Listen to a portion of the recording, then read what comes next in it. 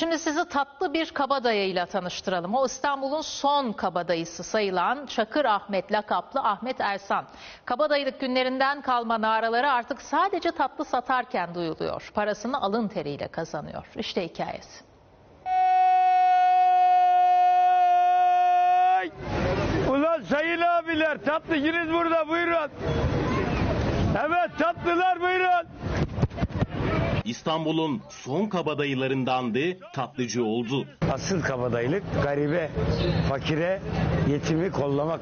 Öyle vurmakla, kırmakla, dövmekle kabadayılık olmaz kardeş. Öyle iç iç kafan güzel olsun at narayı ona git bulaş buna git bulaş öyle bir meydan yok kardeş. Gerçek kabadayı karıncayı incitmez karıncayı. Bizim bir bom telimiz var ona dokunmayacaksın. Ay! Sayın abiler tatlıcınız buyurun. Üsküdarlı Çakır Ahmet lakaplı Ahmet Ersan'ın illegal bir hayatı vardı. Bilinen son kabadayılardan biriydi. Kumar yaptık ama biz kimseye borçlandırmadık. Uslu bununla adam gibi oyunlar yaptık. Kazandığımız paranın çoğunu da fakire fukaraya garibe dağıttık. Kabadayılık yaşamı 18 yıl önce şimdiki eşi Romanyalı Gabriella ile tanışınca değişti. Haram istemedi.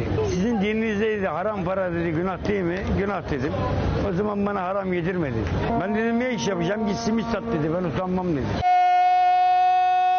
Önceleri gerçekten simit poğaça satıyordu. Ama bir gün işleri gitmeyince eşinin yaptığı tatlılar aklına geldi. Sen yap ben satayım dedi. O gün bugündür de artık tatlıcı. Harbi çok tuttu. İnsanlar artık simit poğaça yerine tatlı istemeye başladı benden. Abi tatlı yok mu demeye.